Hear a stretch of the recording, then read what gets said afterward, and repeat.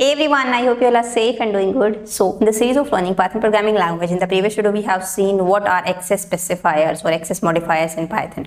Public, protected and private, right? And till now we have discussed two OOPS concept, inheritance and abstraction. The third one is encapsulation. So it is one of the four pillars of OOP.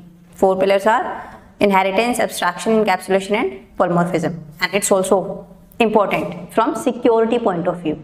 Now how? I'll show you. So what is basically first we'll discuss encapsulation and how we are going to achieve encapsulation. With the help of program I'll show you practically, right? Now let's see this thing with the help of real life example. What is encapsulation? See, uh, I hope you have seen uh, that capsule, right? Like this we have a capsule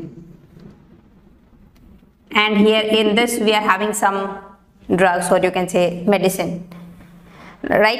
And if you are sick or if you are not feeling well or if you have any other problem you just take it and it will act in your body accordingly. Right? You will be fine. So now within this capsule we are having some amount of drug different types of thing. So these are bundled together or these drugs or these medicines are wrapped together. Uh, you just take that complete capsule. It's not like that you just open it and then you take individual uh, that component. Obviously not right? So that is encapsulation. Encapsulation means just wrapping of something. Now in programming what is encapsulation if you say? Then what you are going to wrap what you are going to bundle?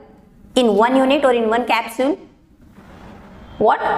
The data members or you can say the data and methods together so you will find this kind of definition everywhere like wrapping up of data or you can say code and methods into a single unit. That is encapsulation.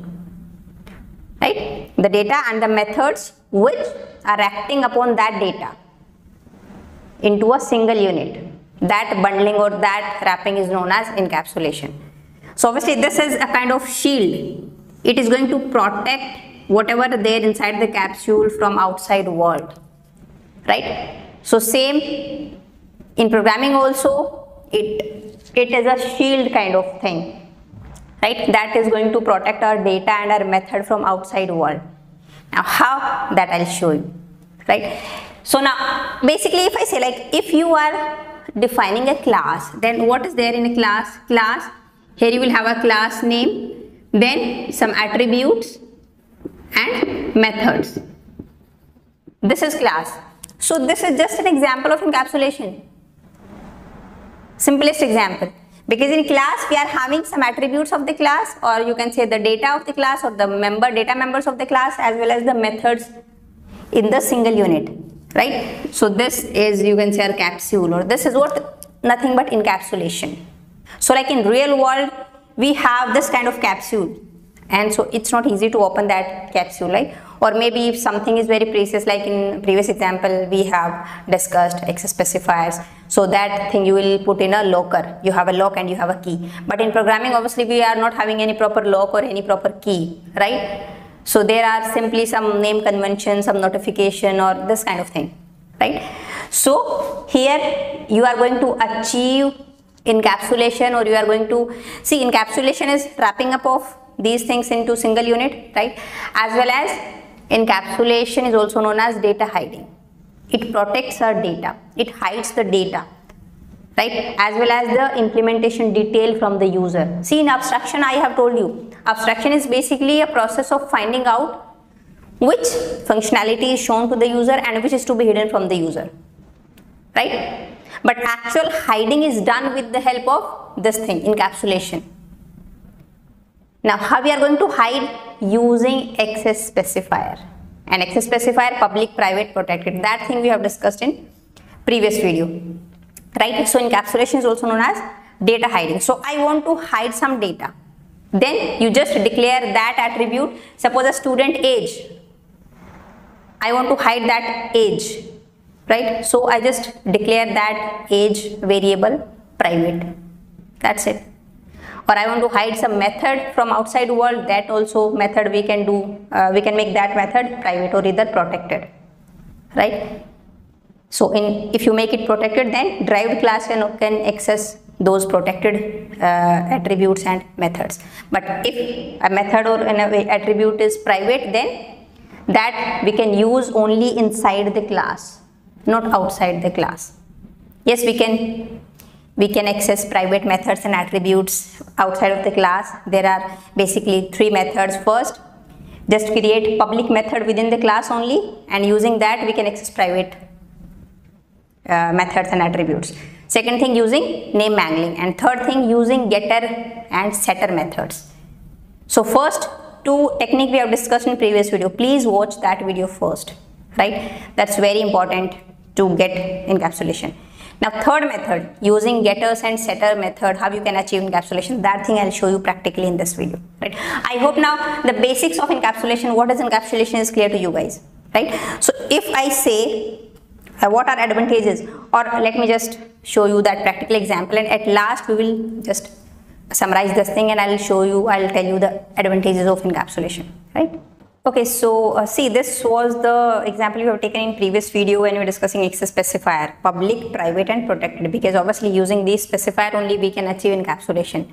We can hide our data, right? Or you can say not only the data, our methods as well as, right? Like this example we have taken, this name is public, this one is protected. If the this is prefixed with one, one underscore that is protected and this age is private private instance variable. So it is uh, prefixed with double underscore. And we have a private method as well as, right? So if you want to access this private attribute outside of the class directly with the help of this, we cannot access. If you want to print directly with the help of like S1 and underscore underscore age. I want to print age. So it will give error. See, Attribute error, student object has no attribute age because outside of the class we cannot access private if it is a private method or private attribute. Within the class means this area is within the class only, only this area. This object we are creating outside of the class. So that is why we are not able to access this thing, right? So this is obviously we are hiding our data. We are protecting our data from public access we are restricting the access to our data which is very maybe some sensitive data we have in our class. It's just a simple program but in industry when you are working on project then definitely there must be some sensitive information in that project. So that we are going to declare that thing as private. Okay?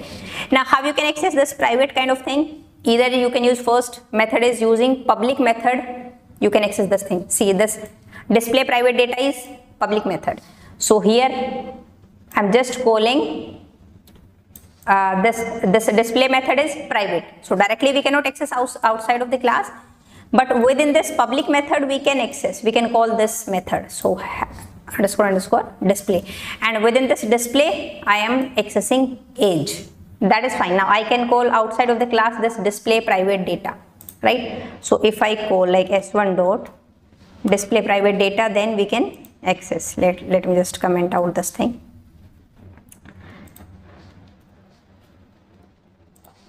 See now Rahul age and roll number 23 from student class right? Like this you can access. Second thing how you can access private data? Using name mangling. So that also we have discussed in last video. Using dir you can do name mangling and how to access name mangling type of thing. This is the example. See if you want to call this display method because this is private directly you can call but using name mangling we can call. So name mangling what you have to do? First underscore then class name then private data or private attribute name or private method name. This is fine. Now this display will work now. Let me just comment out this thing. Let's run this. Now see this display is working right? This function. Or if you want to access this age that is also fine. We have uh, see using name mangling the object name dot underscore class name underscore underscore age. It is fine. Third thing is now using getter and setter method we can access private kind of thing. Now basically if i would say uh, this is the you know best process using getters and setters method to implement complete encapsulation in your program. Right? Because see we can access private data outside of the class. So in Python, there is no such mechanism to completely restrict the access of private data outside of the class. It's flexible, right? It is responsibility of a good programmer to you know, not touch private and protected members outside of the class. Do not modify these things outside of the class. I can modify this private data outside of the class. So if I want to modify like this age, then simply you have to access like this and equal to now age I just want to set 45 let's run this and see 45 year old so I can modify the state outside of the class. Now what is the use of this private kind of thing right? So obviously if something you have seen if you are working uh, in a team on a in a company then if you have seen in a class you have private thing private attribute underscore underscore age then better not to touch this outside of the class better not to modify this. It is your responsibility. These are you can say manners or these are ethics. It's not to touch these things outside of the class. So always use getters and setters method. Now getter method is to access the private data and setter method is to set or to modify the values right? So rather than modifying this thing outside of the class okay let's create a new project uh, sorry new file in abstraction demo only. And I'm creating encapsulation demo.py and let's just copy paste the previous code as it is. Let me just remove first of all something here. Right? So we have this class. Right? This is derived class. So derived class is basically comes into picture when you are dealing with protected uh, data and uh, in inheritance basically. If you want that your derived class can access the data only derived class can access the data not public member not public person then just declare that thing as protected. So this roll number this derived class can access. See directly i can access self dot roll number because this is derived class from student class right? So now okay. Let's use getters and setters method. Suppose using getter using get method I want to get the age. So just define uh, just name get what get age right? Because age is only private. So we use getters and setters on private attributes only. So get age and get means to get uh, the age. So return just self dot underscore underscore age. Or maybe directly you can print that my age is this. And if you want to modify this age then use setters method like set. It's not like that you have to give the name getter and setter. Just indicate get and set like and just uh, you can say underscore and uh, the name of the attribute. Name anything you can give right? Set age so I want to modify age. So obviously when we call this function, we are going to provide our age. So let's just uh, maybe number or any parameter name you can take. Age you can take, even age you can take, A you can take, X, Y, Z, anything, right?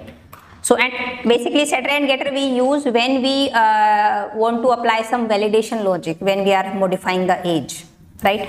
So if you want to apply some validation logic, either directly you can set like self dot underscore underscore age is equal to directly the attribute name age. This is also fine. If you want to apply some logic validation logic like if this age you have given is greater than 25 or greater than suppose 35 then print Suppose I have some restriction, A should be less than 35. So if greater than 35, then it will give error. Else, set the age. Else, just set age. Right? Now, suppose let's just comment out these two methods and comment out this class as well, derived class. Now, let's create S1 student, what you need to pass name, roll number, age. Okay, name, roll number, age and now use get and set method. So if you want to get the age, just call s1 dot get age and it is returning so definitely you have to print. Let's run this and it will print ages 20 okay we have given 20 if you want to modify that private variable private attribute age then just call set age. And here just i just want to pass like 34 maybe. Okay? And after that just again i want to print age. Just copy paste this thing and let's run this. See first it was 20 then it was 34 using getters and setters method it's a good idea it's a good practice to modify private members private attributes rather than directly using name mangling modify that. That is not a good practice. Okay a good good programmer never do this. He or she will use getters and setters method to access private variables private methods. Okay so we use these getters and setters method when we want to avoid the direct access to private data right? Then use getters and setter and if you want to apply some validation logic to set any private data that then also obviously we can apply that thing also right? Now i hope this is clear to you guys. Encapsulation what is encapsulation? How to achieve encapsulation. And encapsulation implements abstraction right? Because now actually we are hiding our data right? Something hiding something from outside world. And this is encapsulation so it is what, what we can say encapsulation implements abstraction. Abstraction is simply a thought process. Abstraction works at design level. Actually at implementation level level encapsulation works. And how to achieve encapsulation? Obviously using these access specifiers right? And how we can use you can watch my previous video and one thing we have discussed setters and getters method we have discussed in this thing. So what are advantages of encapsulation? Obviously it provides security right it is provides our data hiding. And obviously if you are bundling something bundling the code and the method which are working on that code in a single unit then that provides us, us a simplicity kind of thing. Like the code would be more uh, uh, readable and more maintainable. Right? So I hope you got what is encapsulation, how to achieve encapsulation and why this thing is important, right? Now only one OOP uh, you know, uh, concept is remaining that is uh, polymorphism. So that will think uh, that will see in the next video. So now I'll see you in the next video. Then bye bye. Take care.